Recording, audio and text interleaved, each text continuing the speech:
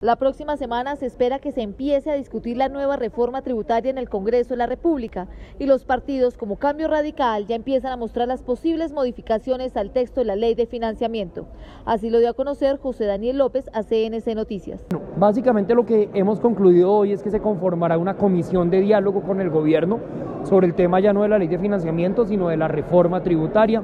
Allí estarán los voceros de Senado y Cámara, estará el doctor Germán Vargas, estará el doctor Fuachar, delegados de las comisiones económicas también estarán, y lo que buscamos es que esas líneas rojas para proteger la inversión, para proteger la confianza y la seguridad jurídica de los inversionistas,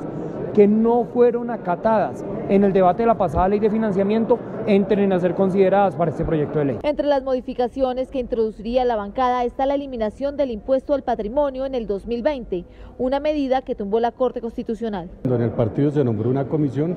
para hacer un estudio profundo con los técnicos del partido y poder ver qué de lo que está proponiendo el gobierno, qué es posible, qué ha servido,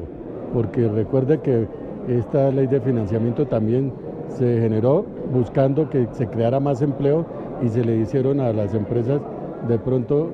eh, rebajas de impuestos con ese objetivo. Lo que tenemos es que evaluar hasta dónde de verdad ha aplicado y ha beneficiado a la gente y a la comunidad colombiana. La renta presuntiva sería otra de las propuestas que estaría buscando eliminar el partido Cambio Radical.